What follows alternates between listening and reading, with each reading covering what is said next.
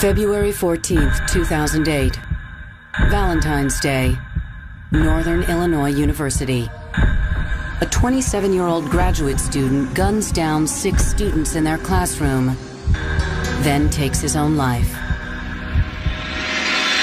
Violent acts like this seem commonplace. Over the next two hours, we'll examine 15 shocking acts of violence school shootings, workplace homicides, and shopping mall massacres. We'll remember the victims, hear from the survivors, I looked into his eyes and then saw down the barrel of his gun. and honor the heroes. He had the gun aimed right at her head, and when I knocked him off balance just enough that the bullet missed her and hit her computer screen, Stories of courage in the face of unspeakable carnage. This is Going Postal 15 Most Shocking Acts of Violence.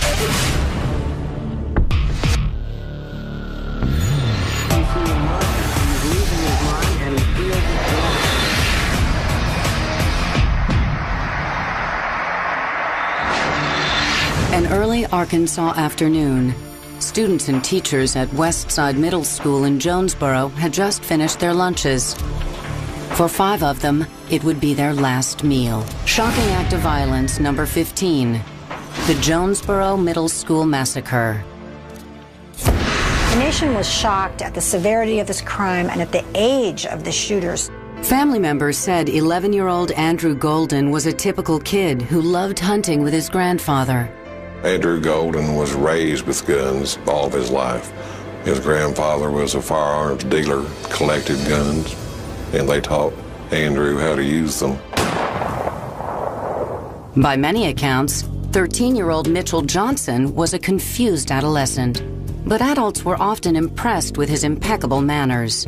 He was very respectful, always said yes, ma'am, anytime he was ever approached. As far as I knew, Mitchell was just a normal kid. Neither boy seemed particularly prone to violence. But on March 24th, 1998, that changed. They began their day by uh, Mitchell stealing the family van. After Mitchell obtained the van from his house, he went to Golden's neighborhood and picked up Andrew Golden. They burglarized uh, the grandfather's house, got inside, and took a number of weapons. They set up their stash of guns in the uh, wooded line by the school, and Andrew Golden left the wooded area and walked over to the middle school complex and went in by the office door. Officials reported at 12:35 p.m., Andrew Golden completed the next step in the boy's plan. He reached over and grabbed the fire alarm, pulled it down, ran back to the wooded area where Mitchell Johnson was waiting for him. They positioned themselves in an area where they were able to create what a sniper would call a killing field. They had a field of view of where students might populate. Both the boys had a tremendous amount of ammunition on them and several firearms and, uh, as I recall, some knives. They knew when they pulled that fire alarm that they would go out that doorway. They went out like they were supposed to, and that's when all hell broke loose. Students and teachers filed out the side entrance of the sixth grade wing. Andrew and Mitchell immediately opened fire. They didn't have to aim.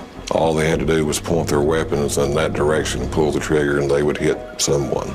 Some of the students said they began to hear, hear what sounded like firecrackers popping, and then they could see red spots appearing on clothing, and they're thinking, well, somebody's shooting paintballs. But the pain and the panic set in, and they realized this isn't firecrackers, this isn't paintballs, somebody's shooting at us. I look and I see one of my teachers on the ground. I see another student laying on the sidewalk.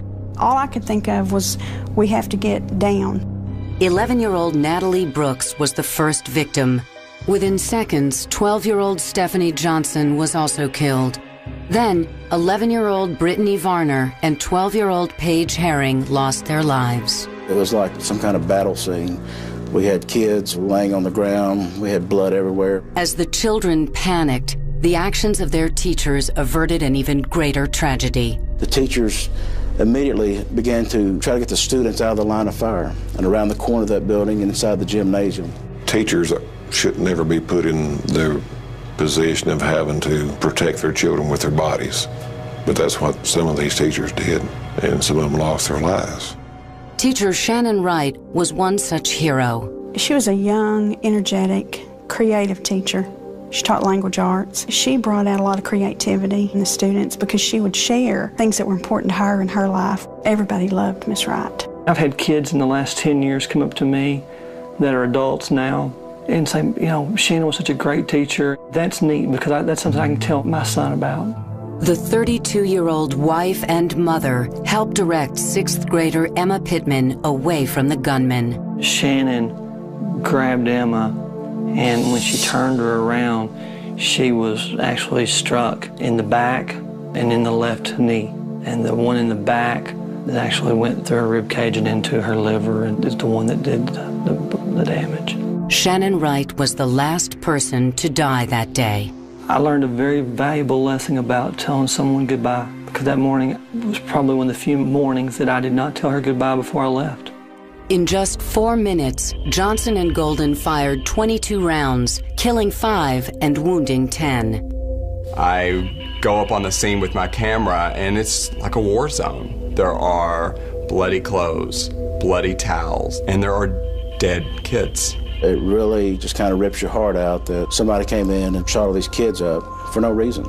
According to police, Johnson and Golden ran for their getaway vehicle as police and SWAT units swarmed the school. The sheriff's office is located very close to the school, four or five miles, and we were, were able to respond and we caught them very quickly. They reverted from being these methodical machines who had set out a killing field to being little children again and crying and asking for their mothers. There was a lot of anger, a lot of questions of why did they do this? Who were they targeting? Had they been planning this? The community was still stunned when the trial was taking place as they were the day that the crime took place. They were brokenhearted. 13 year old Mitchell Johnson admitted his guilt at trial. 11 year old Andrew Golden didn't testify, but his lawyer acknowledged Andrew's participation in the crime.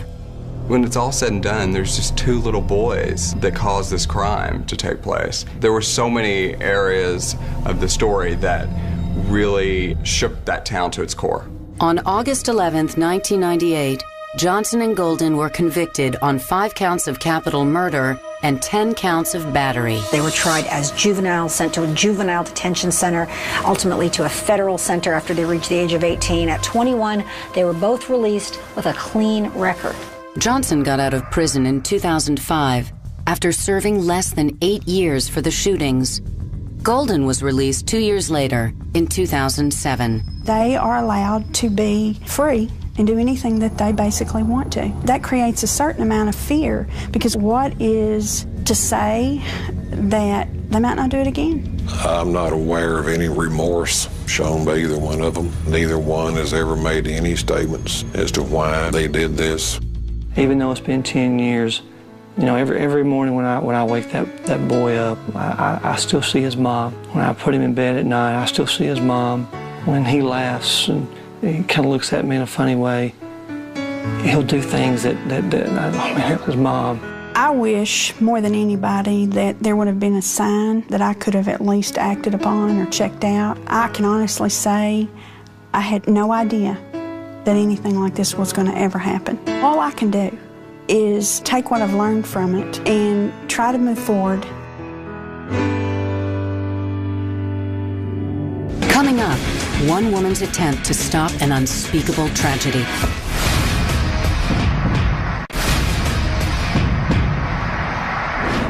A sanctuary full of worshippers, a man with a gun and a grudge. All that stands between the churchgoers and tragedy is a lone security guard. Shocking act of violence number 14 is the Colorado church shootings. Anyone that has a public meeting place, churches, malls, whatever, they need to have a contingency plan in place. And fortunately for us, for many years, we have prepared for the absolute worst. Well, on December 9th, the absolute worst happened. December 9th, 2007 was the day that Matthew Murray decided to unleash carnage. 24 year old Matthew Murray lived in the upscale suburb of Englewood, Colorado, with his parents and his 21 year old brother. He had a very religious mother who was very strict with him. She would search his room for DVDs and CDs and music to make sure he wasn't listening to anything or watching anything that she didn't approve of. He was feeling rejected, ostracized, a lot of angst for being essentially a prisoner in his own home.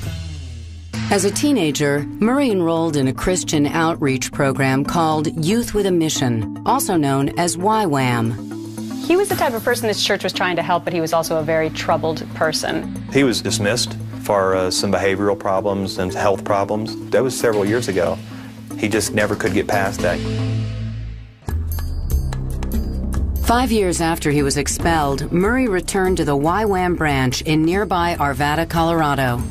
Instead of a Bible, he carried a backpack full of guns and ammunition. You got a mental health issue and you have a person who's well armed, and that's really a bad combination. Shortly after 12:30 a.m., Murray asked staffers at the center if he could stay the night. When they refused, Murray shot and killed 26-year-old Tiffany Johnson and 23-year-old Philip Crouse. Two more people were injured. The shooter then fled the scene. Twelve hours later, on Sunday afternoon, Murray showed up 70 miles south of Arvada at New Life Church. Thousands of families were on the grounds of the Colorado Springs Religious Center. Former Minneapolis police officer Jeanne Assam was a member of the church. She was also working security that day. I saw it on my computer that Sunday morning that there had been a shooting at this religious facility. I saw that the gunman was still on the loose, and I got chills. I just, I don't know why, but I had a feeling he was going to come to New Life. About 1:10 p.m., Matthew pulled into the parking lot. He took a smoke grenade and threw it on one end of the building to divert our volunteer security team. Drove his car down to the other end of the building. Eyewitnesses say he put his head on the steering wheel for a few minutes. A few spaces down, the Works family was in their car, preparing to leave the church. When he got up, he opened the car door, put a um, magazine into his assault rifle, got out and walked real purposely toward the Works family. I believe I heard a pop, looked over my shoulder and saw a guy in black with an assault rifle. As Murray began shooting, David Works watched helplessly as his 16 year old daughter Rachel was hit. She fell back onto the pavement. I saw him again point the gun and felt my belly rip and fell to the pavement, not having gotten to Rachel all the way. Meanwhile, David's wife Marie witnessed the shooting of another daughter, 18 year old Stephanie. I thought, she's been hit in the head. That, and then I started to look for a pulse, and I couldn't find a pulse. Stephanie died instantly. I wasn't sad at that point because I knew she was in a good place. Still shooting, the gunman wounded two more people as he walked toward the entrance. I had my gun out, and people were screaming and running past me and sideways into hallways and rooms and bathrooms to hide. And then I heard someone say, There he is, Gene. He's coming in the doors right now. Jeanne Assam, by this time, had strategically placed herself in the hall. She did not know that Matthew would come into the doorway with an AR 15, a thousand rounds of ammunition strapped to his body, and two loaded pistols. Murray was prepared to kill hundreds. But Jeanne Assam wasn't about to let that happen. I said, uh, Police officer, drop your weapon. And I shot him five times, and uh, he shot at me four times. The bullet holes in the wall behind me showed that he should have hit me, but he didn't. Wounded, Matthew Murray fell to the floor. He then put his 9mm pistol to his head and fired. Had it not been for Jeanne Assam, the rampage would have continued. Either way, this woman's a hero. It shows what having someone who's been trained and tested and prepared uh, for the shootout situation, how that can make a difference in saving lives. Jeanne refuses to take all the credit for her heroic deeds. She has another explanation. As soon as I stepped out from behind cover, I felt uh, a, just a, a rock solid protective shield around me. And I'm not kidding, just like I could feel God. In the aftermath of the killings, investigators determined Murray frequently posted anti Christian tirades on the internet. Biggest thing is getting schools, campuses, or companies to take it seriously. And what we tell them is if they broadcast it, you believe it. And you take action.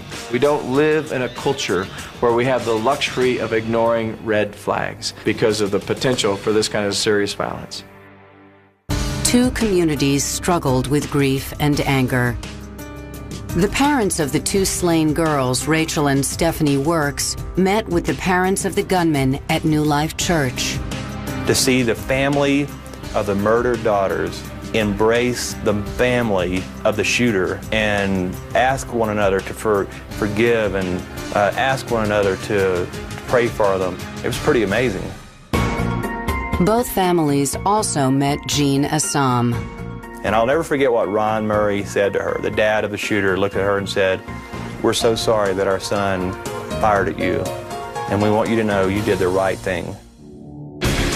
Up next, stocks, bonds, and bloodshed.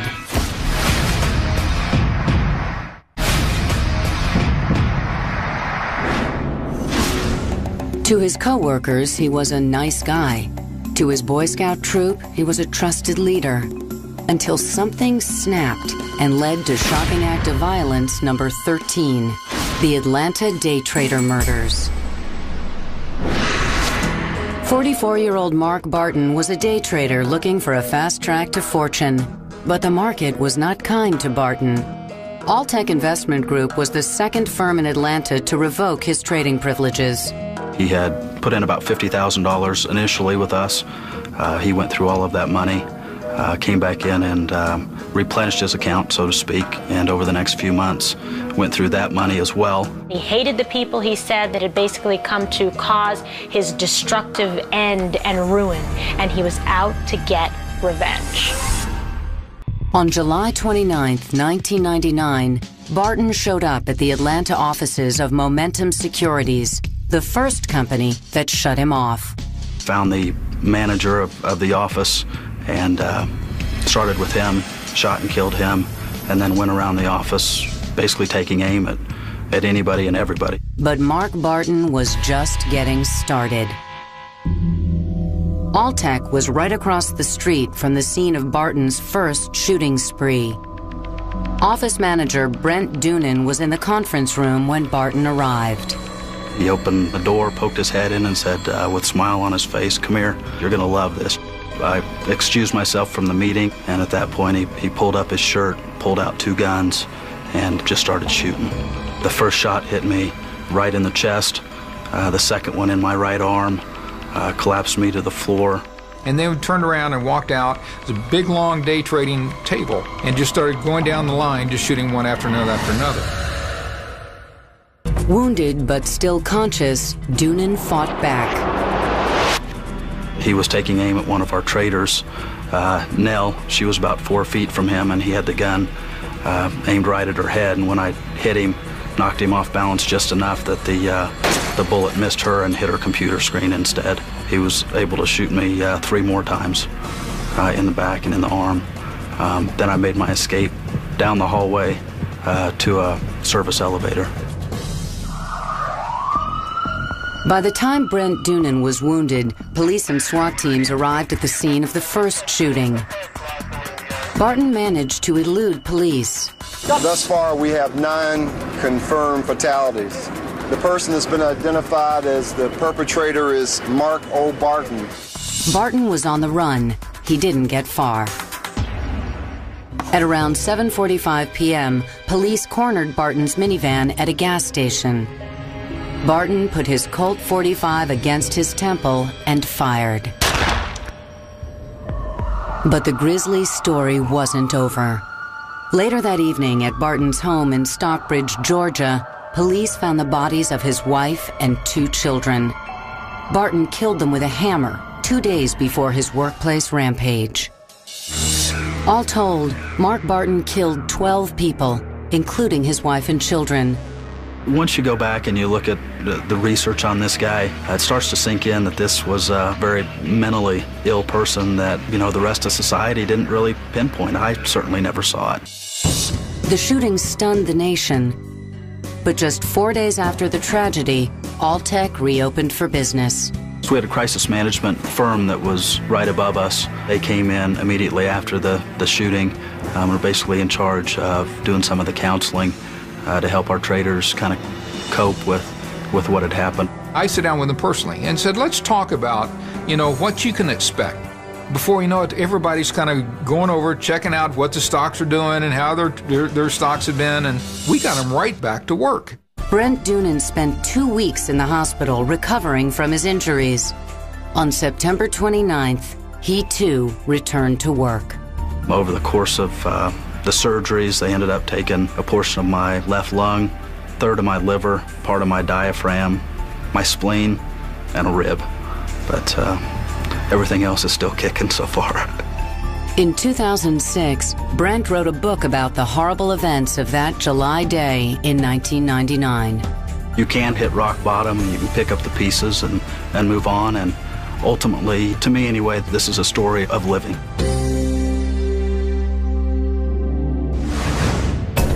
A rustic Scottish town, 29 school children, four loaded handguns, one deranged man. Shocking act of violence number 12 is the Dunblane Primary School shooting. 2005, there were 23 gun murders in Great Britain total. We have 32 a day in the United States. The relative lack of gun violence in the UK makes the events of March 13, 1996, even harder to comprehend. At 9:25 a.m., a 43-year-old former scout leader named Thomas Hamilton entered the Dunblane Primary School in Dunblane, Scotland. He was carrying four uh, handguns. Three of them uh, were 9mm semi automatic, and another was a revolver. Hamilton made his way to the gymnasium. Mr. Hamilton thought that the assembly began at 9:30. His plan was to go into the room where the assembly was being held and simply massacre. But there was no assembly. Instead, Hamilton found three teachers and 29 5 and 6 year olds preparing for physical education class. Without a word, he opened fire. 44 year old teacher Gwen Mayor tried to shield students with her body. She was one of the first to die. There were two other teachers present, and they ushered the children, tried to get as many of them as they could into this storage room where they were told to lie down. Children screamed and ran. Hamilton chased them down, firing as he went. It was a combination of wild shooting and very deliberate uh, target shooting. 16 first graders and one teacher were killed. 12 more students and two teachers were seriously wounded. In the end, Hamilton turned the gun on himself. When authorities searched Hamilton's home, they found evidence of a consuming obsession. I don't think it would be a stretch to say that he had an unhealthy interest in young boys. Several theories surfaced about Hamilton's motives that fateful day. He uh, felt victimized because for so many years he had been denied permission to start his boys' clubs. Hamilton grew increasingly enraged, and as a result, he uh, decided to exact revenge. There is no more powerful way to exact vengeance against one's tormentors than by killing their children. After the shootings, an outraged nation persuaded the House of Commons to ban handguns over 22 caliber. Great Britain now has some of the strictest gun control laws in the world. I think it's amazing that in, in Britain, after a tragedy occurs, they took steps uh, to prevent them from occurring again in the future. And that's what we don't do in the United States. The gym where the massacre took place was torn down the following month, and within two years, the entire Dunblane Primary School was rebuilt. They wanted all signs of that event to be removed. That school had become a place of horror. A memorial to the 16 slain students and their teacher stands in a nearby cemetery. When we return, a horrific last meal.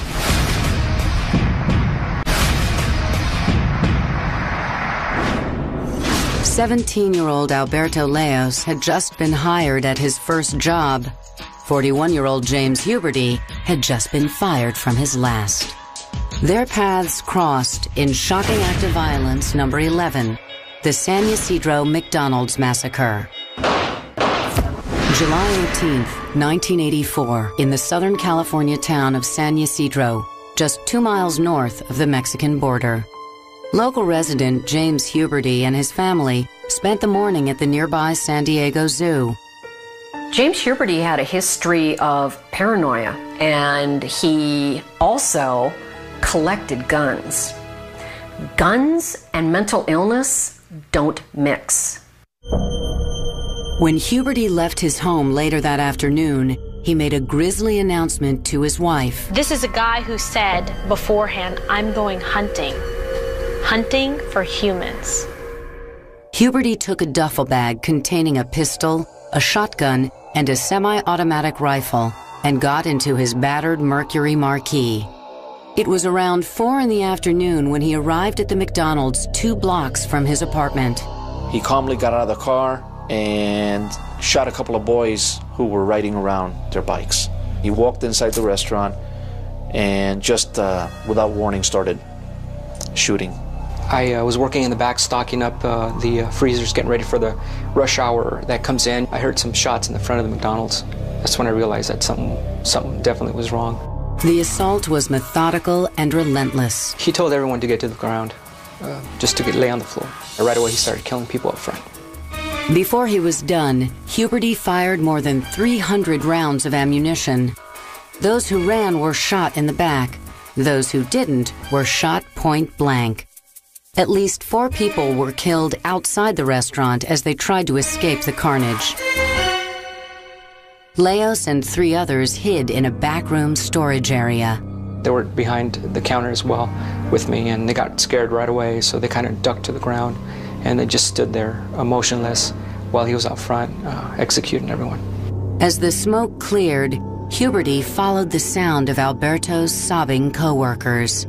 When we looked up, he was just appeared out of nowhere. Right away, he started shooting at us. Alberto and his fellow employees were left for dead. My friends were with me, they, they were killed, and um, I was shot five times, and he ran out of ammunition. And uh, he went to the front to reload. I ended up uh, crawling uh, from where we were hiding. I crawled to the back of the McDonald's, I crawled downstairs, and I crawled into a closet. San Diego police arrived seven minutes after the shooting started. We had to assume it was some type of robbery that had gone bad. He came out and, and, and, and walked around shooting. Once he went inside, we could not see him very well. That's why it took so long. We couldn't make entry because we didn't know how many suspects were inside. We were waiting for the rest of the SWAT team to respond. This was one of the cases where they sat back and said, we need to very quickly have lethal rules of engagement which enable our officers to very quickly take a life to save a life. From 112 yards away, a police marksman waited patiently for an opening. Sergeant uh, Chuck Foster, who was up on the roof right across from the McDonald's, was able to catch a glimpse of him walking around in front of the counter area and was able to take that shot, and he took him out with one round. 77 minutes of pure death and destruction at a McDonald's where people go for Happy Meals, for Super Size Me. It's not a place that you expect this type of thing to happen. When we pulled up on the outside of it and started walking in, you stepped over people that had been shot and had expired um, that were laying out on the sidewalk. I saw a couple of children laying outside, unfortunately, near their bikes. They were motionless and trying to fight for their lives. 20 dead. Another 20 lay wounded and bleeding. You could just see, you know, people laying everywhere. And it was just a matter of trying to figure out who was still alive and who was wounded and who you could care for. The subsequent investigation revealed the gunman knew he had mental health issues. The day prior to the attack, the subject had called a mental health facility, a kind of a hotline, and his name had been misspelled, and he didn't receive a return call.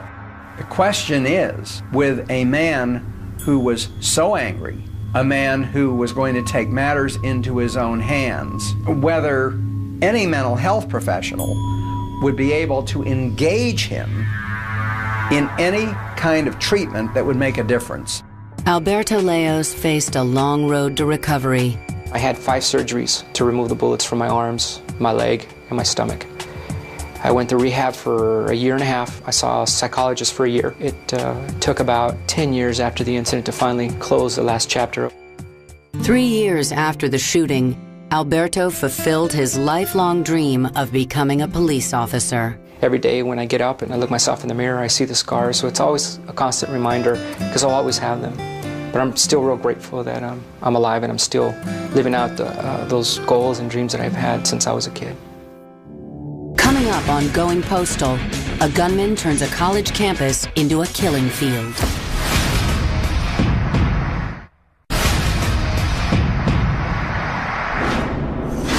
Before there was Columbine, before there was Oklahoma City, there was the tower at the University of Texas and shocking act of violence number 10.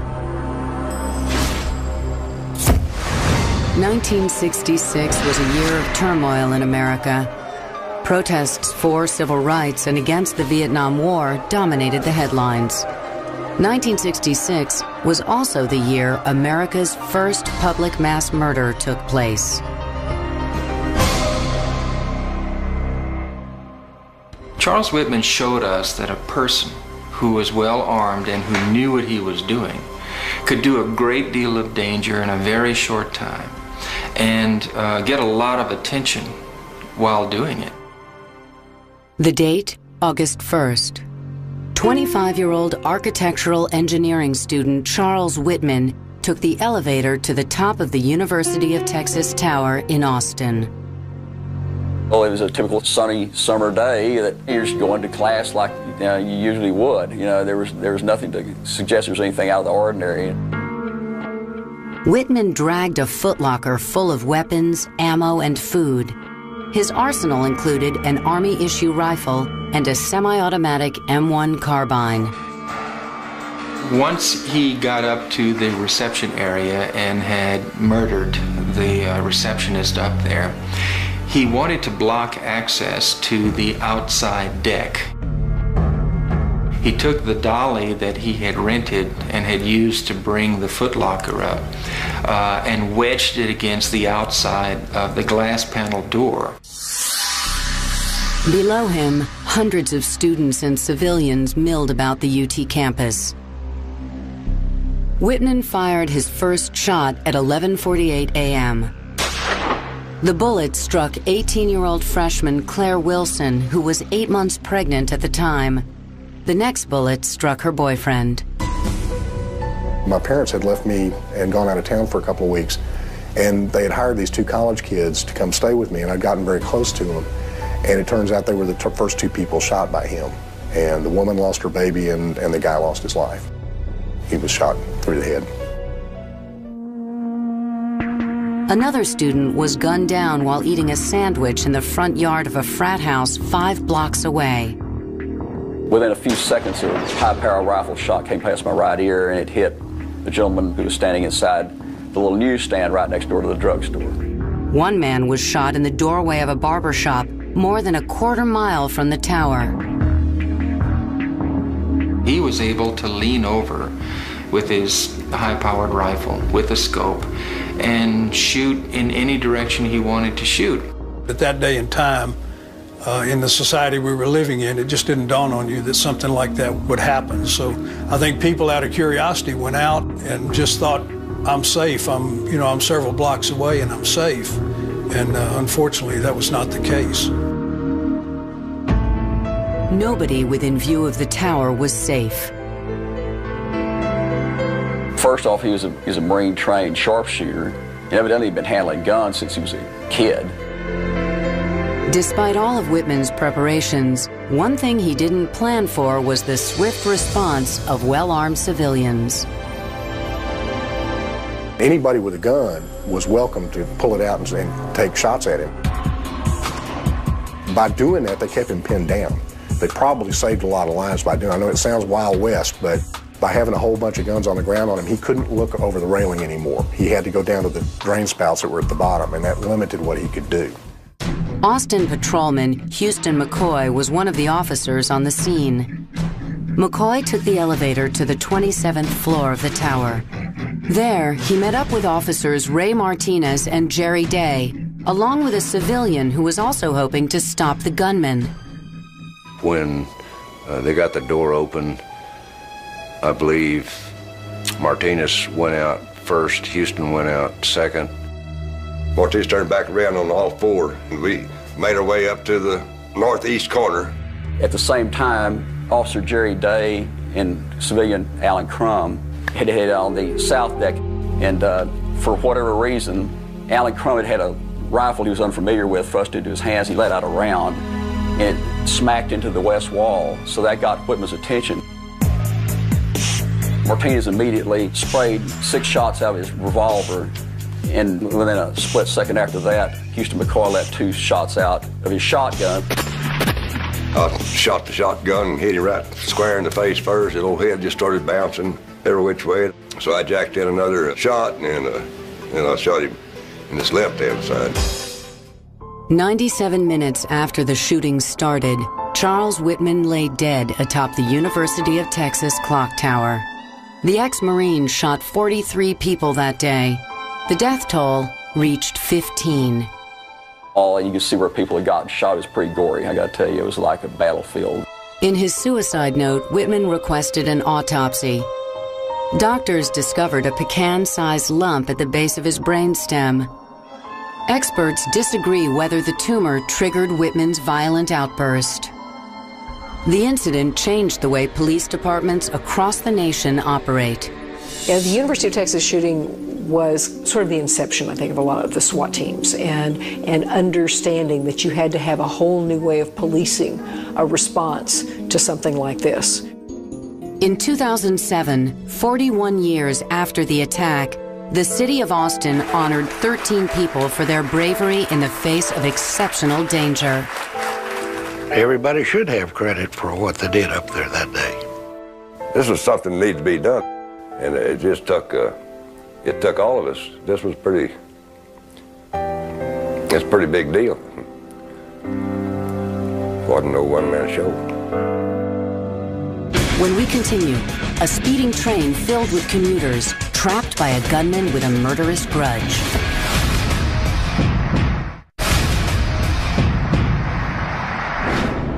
On December 7, 1993, hundreds of commuters boarded a train to Hicksville, New York. Six of them never made it home. Shocking act of violence number nine the Long Island Railroad Massacre.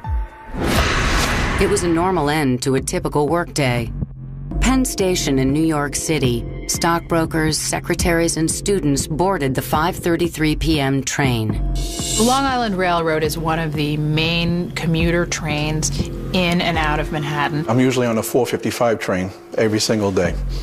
And this day I realized I only had like five minutes to get over there to catch my 455. And I said, oh, what's the rush? So I missed my earlier train, my normal train. But nothing about this trip would be normal. There was another passenger on board who was not a regular 35 year old Colin Ferguson. Mr. Ferguson takes the very rear seat where everyone seated immediately in front of him is facing away from him. There's nobody that is looking at him when he begins uh, his, his shooting spree. Ten minutes into the ride, Ferguson drew a 9mm Ruger pistol. That's when I first heard the first pops, and it was the sounds of gunshots. At first, I thought it was actually firecrackers from outside. I realized it wasn't from outside the train, it was actually inside the train, and it was to my right. And I saw Colin Ferguson methodically shooting people in the shoulders and the head. He just barely even blinked. He just looked from one side to the other, never said anything, looked at a person lying on the floor, aimed at that person and fired. The last thing I wanted to do was get up, look him in the eyes, and watch him shoot me. So I just decided I was going to make a run down the center of the train towards the other end of the car. And he said, if he's going to shoot me, let him shoot me in the back. Somehow, Kevin McHugh was able to avoid Ferguson's gunfire. But passenger Dennis McCarthy was not so lucky. He was shot and killed instantly. Seated next to Dennis was his 24 year old son, Kevin. He was shot in the head. He is now walking toward the east end of the train, arbitrarily just shooting people as they're lying on the floor and shooting straight ahead to the mass of people that have gathered. He finishes his second clip, which is now 30 rounds fired. As Ferguson reloaded for a second time, three courageous passengers brought him down. Three guys just jumped, you know, threw him down into the seat to hold him down at that point. He would have returned to his seat, reloaded his weapon, and at least fired another 15 rounds. He easily could have doubled the amount of injuries and carnage. Four passengers slumped dead in their seats. Two more died at the hospital, and 19 were wounded. I've seen a lot of sights, but not with the multitude of victims that this particular case had. I've never seen anything so devastating. Hours later, Joyce Gorycki was still waiting for her husband Jim, who was a regular on the 533. At 10:30, the doorbell rings, and uh, there was two police detectives that were standing at the door. I said to them, "He's dead, isn't he?" And they said, "Yes." And I fell to the floor. Dennis McCarthy's wife, Carolyn, was returning home from her job as a nurse. Carolyn's brother met her as she pulled into the driveway. He just blurted out that there was a shooting on the Long Island Railroad and Dennis was dead. We had to get over to North Shore University Hospital because Kevin was taken there. He had been shot in the head. He did not have a very good chance of survival.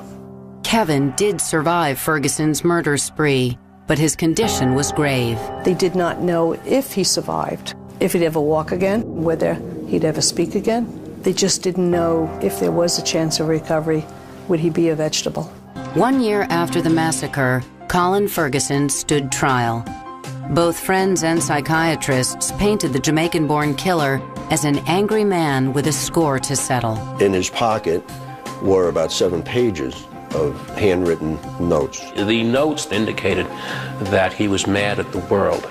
He was uh, mad at Afro Americans, he was mad at Asian Americans, he was mad at various Caucasians. Ferguson pleaded not guilty to 93 separate counts. He chose to represent himself. During the trial, he referred to himself oftentimes in the third person. The witnesses dealt with this by using the first person. Did you see Colin Ferguson shoot somebody? I saw you shoot, says the witness. People who this man intended to kill had to come to court and sit on the witness stand and suffer the indignity of having this murderous killer cross examine them and ask them questions as if he was innocent. On February 17, 1995, Colin Ferguson was convicted and sentenced to six consecutive life sentences. The thing we were trying to understand the most when we arrested Colin Ferguson was why did he do this? Why did he pick that train? Why did he pick those people? Two women who lost their husbands to the senseless violence were inspired to take action. Joyce Gorycki became an anti gun crusader. I don't want it to happen to you. And unfortunately, everybody that walks around is at risk because we're having more and more shootings going on. Carolyn McCarthy launched a political career. A terrible tragedy happened to my family and the other families. I'm not going to allow anyone else to go through what we went through. In 1996, Carolyn McCarthy was elected to the U.S. House of Representatives. It's now my job to take what I've learned and try to help other people along the way. And I do believe with all my heart and soul that one person can make a difference. Four years after the tragedy, Kevin McCarthy defied the odds and walked down the aisle with his new bride, Leslie Nolan. There wasn't a dry eye in the place because everybody was thinking the same thing. Here he was getting married when none of us were wondering whether he would have survived that night. Miracles do happen. Coming up, one man takes on an entire city.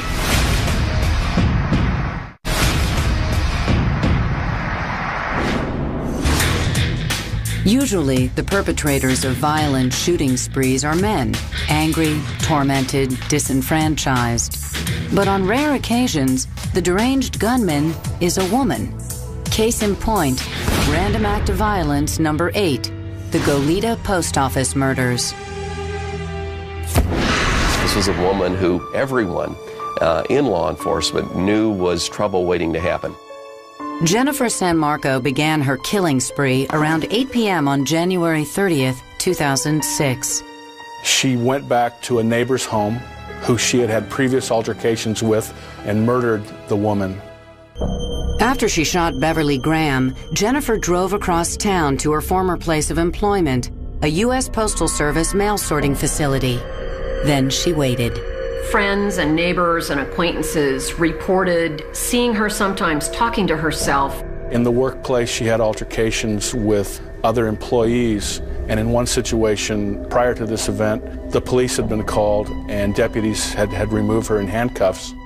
That incident back in 2001 landed San Marco in a mental hospital for 72 hours. She eventually left the post office and moved to rural New Mexico in 2003. In August 2006, despite her history of mental illness, San Marco was able to purchase a 9mm pistol at a pawn shop in Grants, New Mexico. Jennifer San Marco filled out the forms, got the gun and ammunition she needed, and then proceeded to carry out her plan. Five months later, San Marco patiently sat outside the sorting facility in Goleta. Jennifer San Marco obtained access to the mail sorting facility by waiting for a vehicle to pass through the gate. And as that vehicle passed through the gate and the gate opened, she tailgated and was able to just draft right in with the person in front. She shot and killed two employees in the parking lot before entering the building. She then was just one step away by getting an ID card to being able to swipe it through the door. Then she goes inside and she starts a one by one shooting people. 80 workers were on duty that night. Some frantically dialed 911 as San Marcos searched for victims. When police officers entered the building, they found Jennifer San Marco dead from a self inflicted gunshot wound. Five post office employees were also dead. A sixth died later from her wounds. It's the deadliest incident by a female shooter in U.S. history. San Marco left no note and apparently spoke to no one about her plans. In so many of these cases, it, it, boils down to a couple of things. One, the gun laws in this country, and two, the way we treat people with mental illness. Clearly, what we're doing now to keep dangerous people from getting guns isn't working. And that's because we have so few restrictions. And this postal shooting is another good example. A stolen tank charges through the streets of a U.S. city. A police officer is determined to stop the man behind the controls. A confrontation leaves one of them dead. Shocking act of violence number seven is the San Diego tank rampage. On the evening of May 17, 1995, a former Army private named Shawn Timothy Nelson entered the San Diego National Guard Armory. It was after hours, after five, evidently, and he was able to get in very easily because there were people working late and left the gate unlocked. The 35 year old broke into one tank, then another, trying to start the engines. On the third try, Nelson succeeded. Right, he used to be a crew member in the U.S. Army of a tank, so he knew all about tanks. The only fortunate thing was this was not a loaded tank, it didn't have all its missiles and things on board. Nelson drove the 53 ton M60 tank out of the armory and onto the streets of San Diego. I can honestly say it was a parade atmosphere. Everybody was joking and laughing. And then he started mowing down cars and vans, and it wasn't so funny when he started heading for people. The driver barreled across San Diego, targeting everything in his path. Just as I got out of the driveway, he ran over my truck. Yeah. And then he took out the telephone poles over there. Dozens of San Diego cops were dispatched to investigate. How do you stop a tank? And that's basically what the police were faced with. They couldn't. Their only option was to clear the streets ahead of the vehicle until Nelson veered onto the freeway. There were um, police cars that had stopped traffic on both sides of the freeway, so there was no risk to other human life unless he made it over the barrier and started down again. Police speculate he was heading towards a busy local hospital. It was determined that he was in a lawsuit with the hospital. Some believe that part of his rage was the fact that he had been improperly treated. When the tank became hung up on the freeway divider, police saw an opportunity and took immediate action. That was the police signal to get in there and disarm him. As soon as that happened, the police were out of their cars and they were on top of the tank getting the turret open. Using bolt cutters, four San Diego police officers forced open the hatch and found Nelson at the controls. They ordered him to surrender. He didn't comply with the authorities. They tried to beg him to stop, to stop the tank, to give himself up. San Diego police officer Rick Piner was left with no option. Uh, the decision was made to shoot. And they felt if he had gotten across the way, then he would definitely kill a lot of people. Remarkably, Nelson was the only person killed that day. His 22 minute rampage destroyed 40 vehicles, damaged six miles of road, and left thousands of people without power. Tests on Nelson's blood showed he was intoxicated. This is a guy who was suicidal, had been having drug abuse problems, methamphetamine, had lost both his parents in the several years leading up to this incident.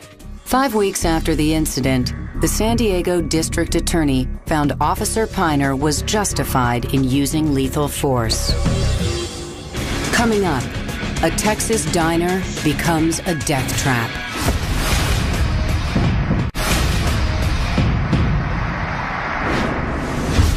Crowded cafeteria, an armed and angry man. For dozens, a brutal and bloody last meal. Shocking act of violence number six the Luby's Cafeteria Massacre. October 16, 1991. Luby's Cafeteria was a popular dining destination for working people in Killeen, Texas. Shortly after 12:40 p.m., the busy restaurant was packed with regulars, including 32-year-old Suzanna Gratia Hupp and her parents, Al and Ursula. It was a beautiful day in the middle of fall, and um, we had finished eating, and the place was packed that day. The bustling lunchtime atmosphere was about to be shattered. As we finished eating, uh, all of a sudden a truck just blasted through a floor to ceiling window that was right where we used to sit, knocked over a number of tables, hurt quite a few people, and it came to rest well within the restaurant itself. Of course, everybody thought it was a wreck, and the people jumped up to help the people that got hit and got to help the driver of the truck. But this was no random accident. 35 year old unemployed merchant seaman George Hennard jumped from the cab of the pickup. He immediately opened fire with a Glock 17 semi automatic pistol. All of a sudden, my father and I heard shots. Uh, we immediately got down on the floor and put the table up in front of us. My mom got down behind us and realized in 1991 these random shootings weren't happening. So my first thought was it's a robbery. But he just kept shooting. Hennard moved quickly through the crowd, firing at random. I used to carry a gun in my purse, which at that time in the state of Texas was illegal. My gun was 100 yards away in my car, completely useless to me. My father took my attention and he began to raise up and he said, I got to do something, I got to do something. He's going to kill everybody in here. And I tried to hold him down by his shirt collar. But when he saw what he thought was an opportunity, he got up and he ran at the man. And the guy simply just turned and shot him. Many customers dove under tables to escape the gunman, only to be shot as they hid. It's a cafeteria style restaurant, and the people in the serving area had no furniture for protection, no barriers. They hit the floor, but were completely exposed. And many people in this area were shot and killed. The shooter paused just briefly to shove another clip into his weapon. He was walking from one person to the next, taking aim and pulling the trigger. He'd Go to the next person, take aim, pull the trigger. He had complete control over the situation. Employees rushed out the back door or sought refuge within the restaurant. And two employees were able to escape by hiding. One woman hid in the large refrigerator, and another young man squeezed into an industrial dishwasher. And he stayed there for 24 hours. Another man made his own escape route. Tommy Vaughn dove through the window, put his entire body through it, broke it, and many people were able to escape out that back window. Or when I heard that window break at the back of the restaurant, I thought, oh God, here comes another one. But then I saw people getting out that way. And when I saw what, what I thought was a chance, I stood up, I grabbed my mother by the shirt collar, I said, Come on, come on, we gotta run, we gotta get out of here. And then my feet grew wings. And I turned around to say something to my mother, and that's when I realized that she had not followed me out. Mrs. Gratia stayed behind to comfort Susan's dad. And they said he pointed a gun at her head and pulled the trigger. My parents had just had their 47th wedding anniversary, and um, my mom wasn't going anywhere without dad. Police investigator Kenneth Olson was among the first to arrive on the scene. You could smell a gunfire in the air. As I approached the building, I saw that he was getting ready to shoot somebody on the ground. I could see him holding a gun. I fired my pistol and I shot him. That stopped him from shooting anyone else, and he started to run. At that time, I, I fired some more rounds at the uh, suspect's position, and then the guy shot himself at that point in time. The shooting spree lasted just 12 minutes. 22 victims lay dead, with another 21 wounded. Paramedics rushed to help the survivors. So when I went in that door, and I just knew we had to go to work, and I knew there was a lot of people, so we had to start getting the ones that could be saved out of there. Suzanna Gratia Hupp lost both her parents that day. The tragedy spurred her to a career in public service in the Texas House of Representatives. I helped pass the current concealed carry law in the state of Texas. Um, and then when I actually entered office, we made what I would consider improvements to that law. It is now legal to carry a concealed weapon in the state of Texas. I think if more states would pass laws like I tried to pass here in Texas, I think you will see the number of these random shootings go down dramatically. And I think when they do occur, you won't see the body bag count like we're seeing now. When going postal returns, an off duty cop, a crowded shopping center, and an armed madman.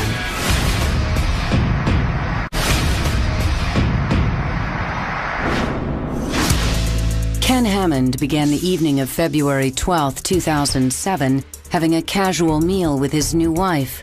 By the time the night ended, Hammond's courage helped save countless lives. Shocking act of violence number five the Trolley Square Mall shootings. Trolley Square Mall in downtown Salt Lake City is a popular shopping center for locals and tourists alike. It's the second busiest tourist attraction in Salt Lake. It's an old trolley hub, and they turned it into a mall. Off duty police officer Ken Hammond and his pregnant wife Sarita had just finished dinner on the upper level of the mall. Valentine's Day was coming up. We both had to work on Valentine's Day, so I tried to plan a nice Valentine's date. At 6:44 p.m., an 18-year-old Bosnian refugee named Sulejman Talovic arrived at the Trolley Square Mall.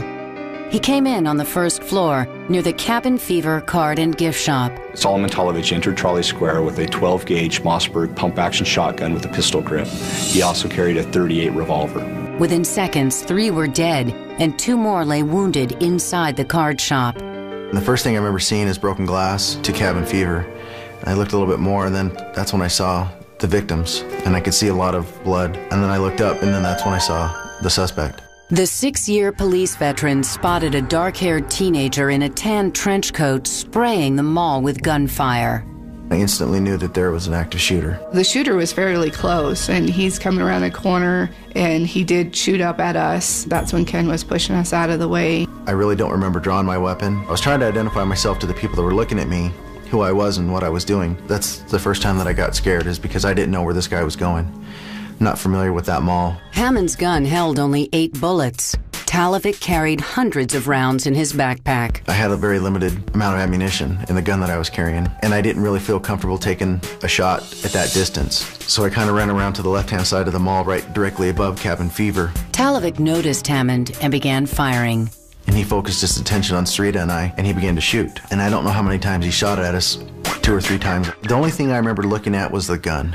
Salt Lake City Patrol Sergeant Andy Oblad was just three blocks away when the shooting started. As terrified shoppers fled, Oblad entered the building. He soon ran into Ken Hammond.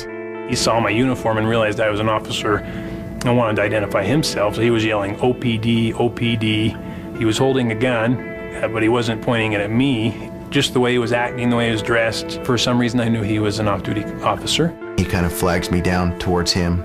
I felt that at least if I was next to a uniform officer, the other officers that were responding in wouldn't see me as a threat. Wedding videographer Jaron Dancy managed to record some of the chaos on his video camera. I've always got a camera with me and I always like to capture things. I start to see the first cop come in and they're kind of going a certain direction so I'm thinking that he's over there and so I keep filming and then at that point realize that they've spotted him, they know where he's at. Gunfire is engaging. You can hear by his shotgun blasts, he was shooting at the police. Oblad and Hammond cornered the shooter in Pottery Barn Kids. He seemed very methodical. It seemed like he was determined and had a plan. In the meantime, calls began to flood the 911 lines. Ken's wife, Sarita, was one of the callers. Please let them know that my husband is an Ogden City cop. He's off duty. He does have his gun and he's out there somewhere. Your husband does? Yeah, he has his badge and gun, but he's off duty, Ogden City. It seemed like forever, especially when you're hearing the gunshots. And knowing that my husband's out there and not knowing who's shooting. Where is it still a shooter? Is that Ken shooting? Is his back up there? Within three minutes of the first 911 call, a team of six Salt Lake City SWAT officers arrived on the scene. If we had delayed any longer or had decided to set up around the mall, he could have killed close to 100 people. In a stroke of good fortune, they entered the very store where the gunman was trapped. We picked that door going into Pottery Barn Kids. As soon as we entered that door, we could hear the shotgun um, going off. We didn't think that we were going to be going right into the store that he was. So it was quite surprising. At that point, we didn't realize um, that Sergeant Oblad or Officer Hammond were inside the mall. So we didn't realize he was shooting at them. We thought he was shooting at more victims out in the hallway. Just six minutes after the first shots were fired, Sergeant Josh Sharman and his SWAT team brought Talovic's rampage to an end. When we shot him and he went to the ground and, and we secured him, I, what I remember seeing was that uh, he was a kid. And it really blew our minds that we just shot a kid. And to this day, we don't know why. Five lives were lost that day, in addition to the gunman's. If Sergeant Oblad and Officer Hammond weren't able to encounter him so early into this and change his course, the victim count would have been much higher. Within three minutes of receiving the call in our dispatch center, officers had arrived at Trolley Square. And within six minutes, we had reports that the suspect was contained. That is an amazing response. I don't mind if people want to refer to me as a hero, but what bothers me is if they single out one guy like Ken because he was off duty or me because I was one of the first ones there. I can think of 15 or 20 officers that went in the same way I did. We don't get into this line of work for the praises. We don't get in line, this line of work for the pats on the back. We do it because we like to do it and try to make an impact. Ken is awesome. That's a situation you never want to be put in, but I can't imagine anybody else that would react better in that situation. He's everything to me, so he's my hero. Coming up, a schoolhouse in a quiet community becomes the scene of every parent's worst nightmare.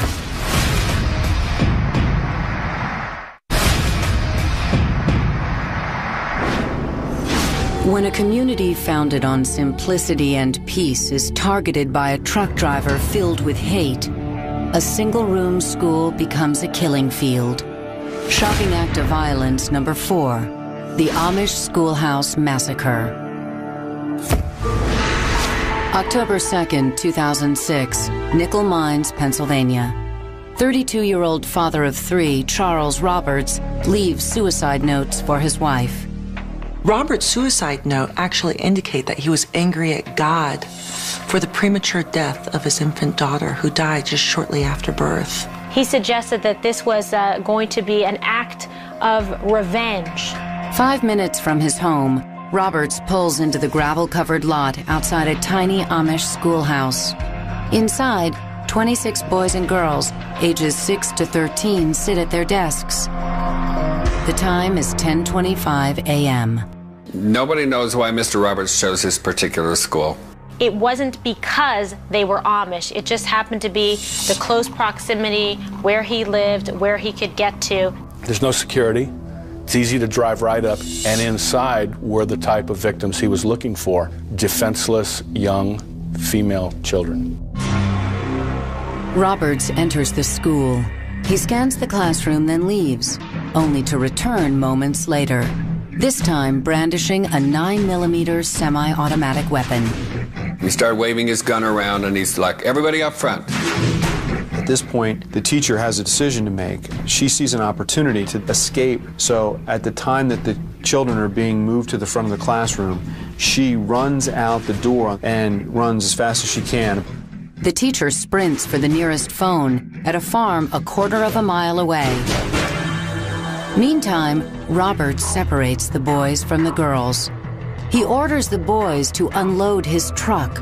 Well, this wasn't an impulsive act. Roberts had spent a couple of weeks gathering supplies. I believe that he planned on being there for a significant amount of time and keeping law enforcement at bay while he did whatever it was that he planned to do.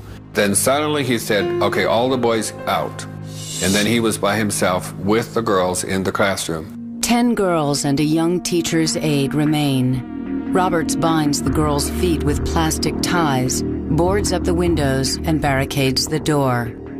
Outside, the teacher reaches the farm and calls 911. Our personnel were dispatched at 38 minutes after the hour, and we had people on the scene in seven minutes. I don't believe he anticipated we would arrive that quickly. And part of the reason that we did was because the teacher made the difficult decision to go out and get help. At 10:48 a.m., the police try to establish contact. Roberts is in no mood to talk. He warned the police that if they didn't leave the premises or get out of the way, he was going to open fire. Then, at 11:05, gunfire erupts. And he just started shooting away at them, just started at the top and just shot down the row. The troopers immediately tried to get in the school. The police smash the windows to gain entry, but it is too late. He sees the trooper smash out the window. At that time, Roberts turns the gun on himself, fires one round, and falls to the floor. Five of the ten girls die at the scene or at the hospital. The others, including the teacher's aide, somehow survive. This whole community was really shaken up by the shooting, as the whole world was. Over $4 million was sent in to help the families that were affected by this shooting. The Amish used part of that money to establish a fund for the gunman's widow and their three children. They extended their sympathies to her. They visited her, and they let her know that they are not harboring ill feelings toward her. In our culture, we tend to view forgiveness as the last step in healing. The Amish do it exactly opposite, that they forgive first and then go through the healing process. A week after the massacre, the yellow one room school was torn down. The demolition of the old school it happened so quick, and by noontime this thing was done, and the land that it sat on was seeded in grass. Unless you know where the school was, uh, you won't be able to find it. I mean, they completely took it to the ground. On April 2nd, 2007, six months to the day after the attack, another Amish school opened. When we return, mayhem at a Midwestern mall.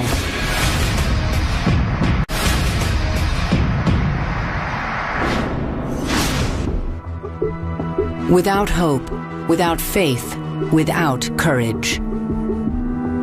That's how Robert A. Hawkins' mother described her son to reporters. To his victims, Hawkins showed he was also without pity. Shocking act of violence number three is the Westroads Mall shooting. It was early December 2007. Employees and customers at the popular Westroads shopping center in Omaha, Nebraska were caught up in the holiday rush. 19 year old Robert Hawkins wasn't in the Christmas spirit. He had a history of drug use, a history of mental illness problems. Apparently, he was sent for a psychiatric evaluation at one point, but there was very little follow up. On December 4th, Hawkins stole his stepfather's assault rifle from a closet. The gun was not locked, the gun was not hidden, the ammunition was not kept separately. The next morning, Hawkins left suicide notes for friends and family. She talked about being depressed, he talked about being a burden to people, and claims that he just snapped. Hawkins then drove his 1995 Jeep Laredo 12 miles to the Westroads Mall in Omaha. The 19 year old entered the mall through the Von Maur department store. He entered the elevator, went straight to the third floor, and when he came out of the third floor, he had a, an assault rifle. Hawkins opened fire on shoppers and employees. The first frantic 911 call came in at 1:43 p.m. 911, what's your emergency? Hello, 911. There was one person shot on the first floor, uh, one person shot on the second floor, and all the other victims were on the third floor. Von Maur's HR manager, Jody Longmire, was one of the people who dialed 911. I am on the third floor. That's where most of the um, people who have been shot are at. Okay, how many people do you have that are shot there? As far as I can tell, I have um, two to roughly four. Police and paramedics arrived at the store within six minutes of the first phone call. At that time, there was a, quite a few cruisers pulling up and getting out their assault weapons, so I immediately asked, uh, you know, if the scene was secure, and uh, they said that this shooter was still possibly inside. But it was already too late. The gun is laying by, over by customer service. There's an officer there now. It looks like he might have killed himself. Okay, you see it laying by it by a gun? I see him laying by a gun. Hawkins' final act was to turn the assault rifle on himself.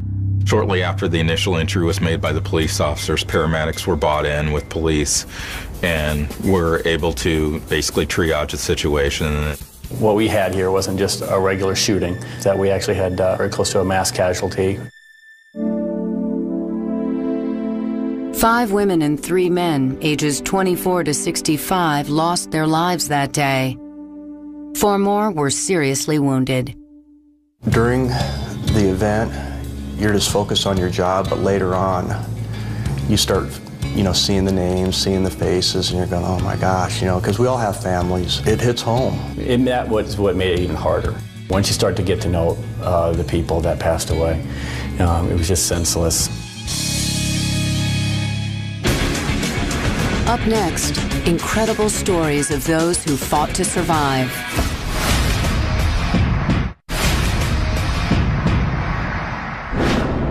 Two angry, alienated students. One unselfish teacher. None survived shocking act of violence number two, the Columbine High School Massacre. Nothing like this had really happened at a school before. And I think this incident really woke up America. Certain events leave an indelible scar on history, like the events of April 20th, 1999. 11:30 a.m. First lunch period at Columbine High School near Littleton, Colorado. One moment, classmates Richard Castaldo and Rachel Scott were eating on the grass outside the cafeteria. The next moment, They shot me and uh, Rachel at the same time, basically. I was sitting down and I like fell backward onto my back, and uh, I felt my um, like brought the middle of my chest down, start to you know go numb. Rachel didn't survive. Columbine students Eric Harris and Dylan Klebold detailed their plans for more than a year in both written journals and videotapes. Why didn't somebody say, well, this is crazy, let's stop? Well, you look at those tapes and you'll know why it never stopped. Because all they did was reinforce each other for every violent suggestion and every violent behavior. These were two kids, from everything I have read, who were fascinated by killing. Columbine was not an end state for them. That was the beginning. Their intent was to go on a much larger rampage. It simply didn't play out that way. The morning of April 20th, Harris and Klebold left two homemade 20 pound propane and shrapnel bombs in their high school cafeteria. The explosives were set to go off at 1117. They spent a lot of time planning this out, even so far as to go into the cafeteria and on a 10 or 15 minute basis, writing down how many kids were in the cafeteria. And then when the number of kids in the cafeteria got to the highest level, that's when they set their timer to go off. When the bombs failed to detonate, Harris and Klebold decided to investigate. That's when the boys came across Richard and Rachel. One of them, I'm not sure which one, like threw a, a pipe bomb. It didn't really do what they what they wanted it to do, I guess. But they started just started shooting like just right right after that. 15-year-old Daniel Rohrbough died near the stairs. Inside, many students assumed the shooting was some kind of senior prank. But business teacher Dave Sanders immediately recognized the threat.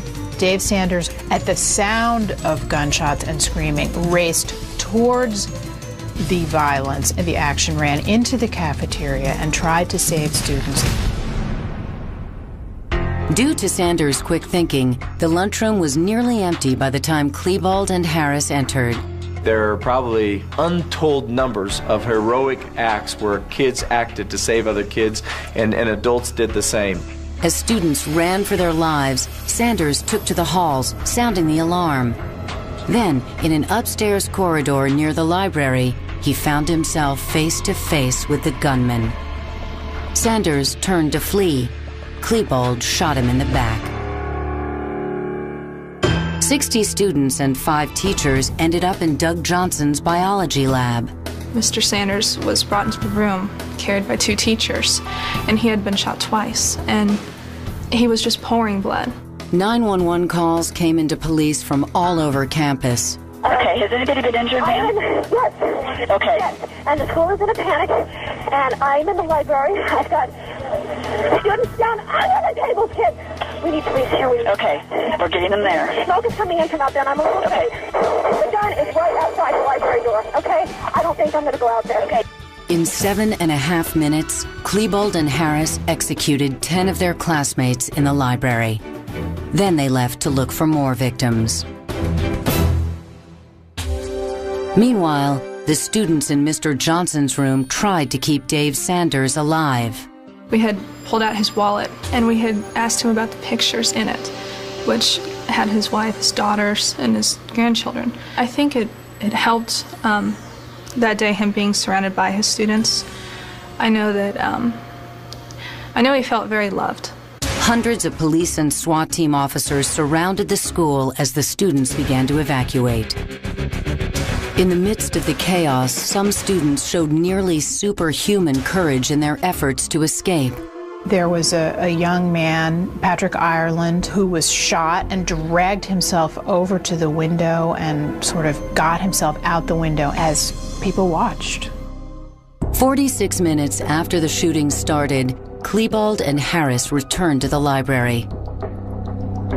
The two set off one last Molotov cocktail, then they both committed suicide. By the time paramedics made it to the science room where Dave Sanders lay bleeding, it was too late. It was because of him that I think so many were saved and knew to run out of the cafeteria that day. And he did give his life to get them out. 13 died at Columbine High School that day, not counting the gunman. I still see the parents of the kids whose family I notified, and I know who they are, and they know who I am because that's a moment that is seared in your mind forever, really. 23 people were injured, some, like Richard Castaldo, permanently. I felt my legs go numb pretty much instantly, and I guess I didn't really know exactly what that meant at the time, but probably like within a couple of days, I think uh, someone actually told me that was, you know, spinal cord injury. I don't know how much the rest of the nation or even the world knows how much the victims of Columbine suffer, even the ones who weren't shot that day.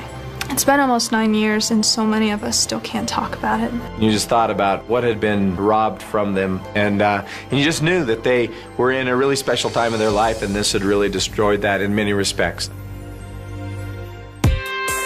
In the wake of Columbine, many lessons were learned. We've set up um, a Safe to Tell program with a program that is about school safety centers. And it'll really help school districts around the state plan for school safety. All of the disciplines who would normally be called on to respond are now talking about it beforehand. One of the lessons learned there was hey, we need to bring these groups together in advance, get on the same page and wavelength so that we can effectively uh, respond to a crisis. Coming up, we'll meet one man who stared death in the face.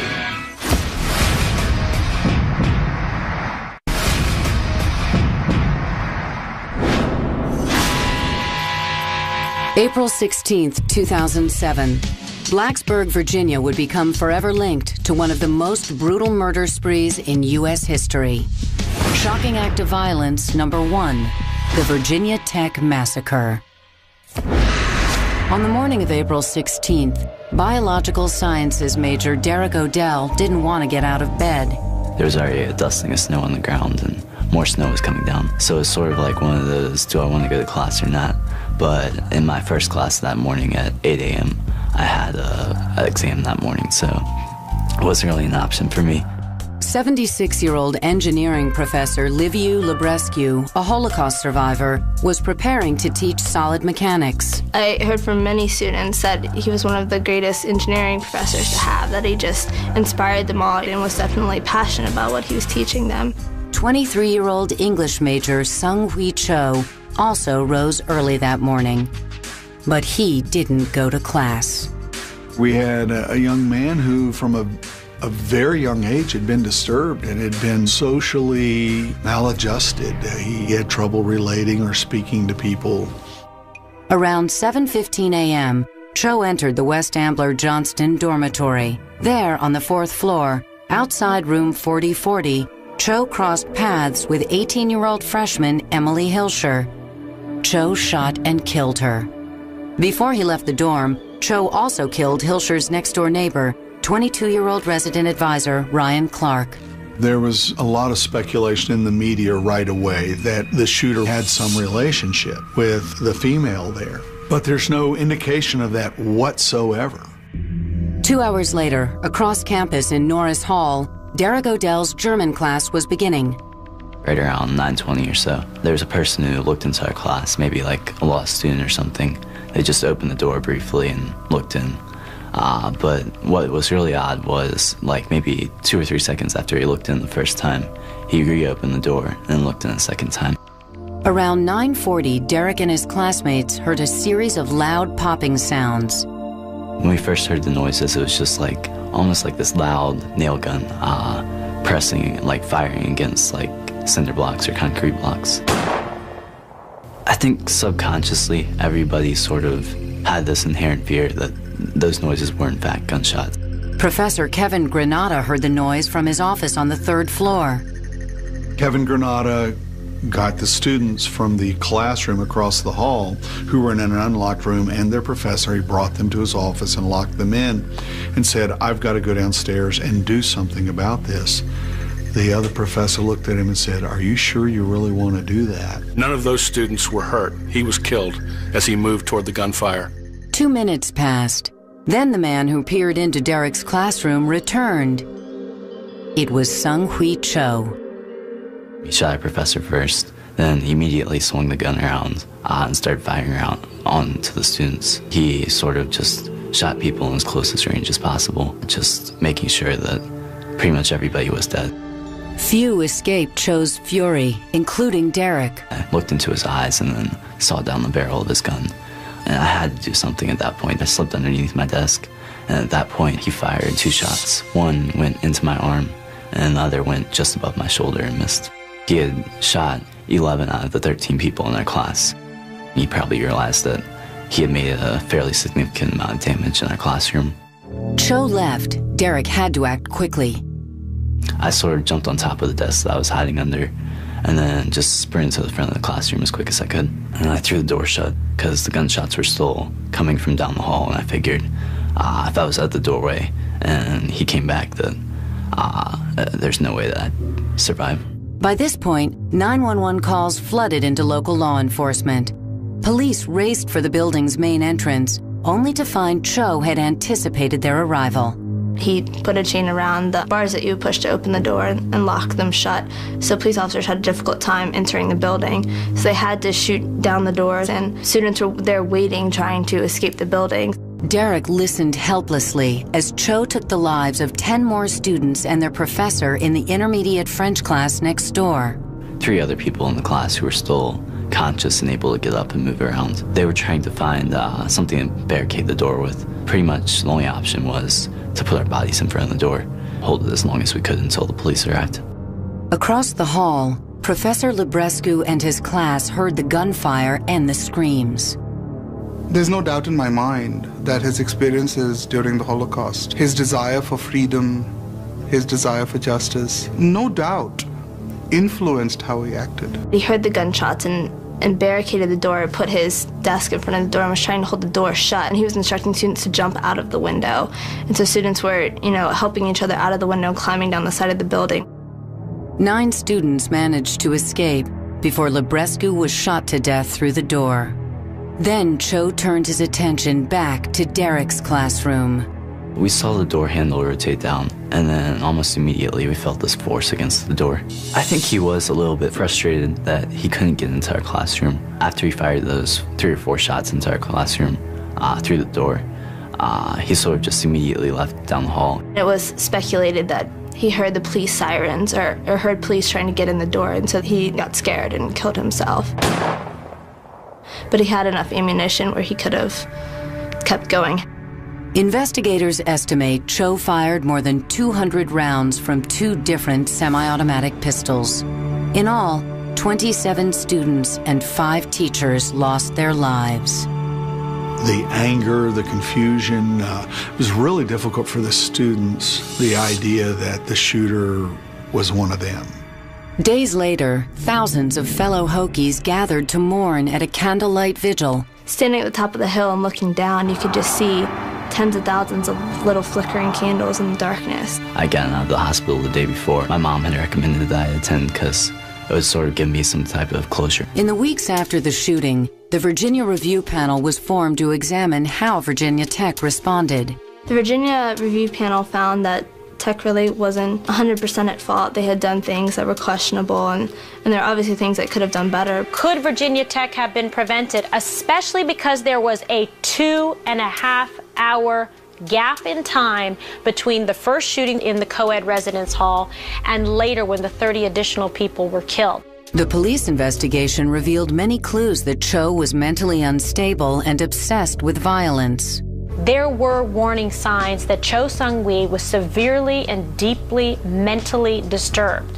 So much so that he could not even participate in class. His writings were very bizarre and definitely raised flags, red flags. Following the shootings, Virginia Tech debated the future of Norris Hall, where 30 of the 32 fatalities occurred. There were people who said that it should be torn down. It was a place of unimaginable tragedy, and if it ever opened, it should be transformed quite drastically. The former classrooms are going to be turned into laboratories for high level research in engineering, science, and mechanics, particularly in biomechanics. The scholars there are doing the research and doing the kinds of things that Kevin Granata had dedicated his life to.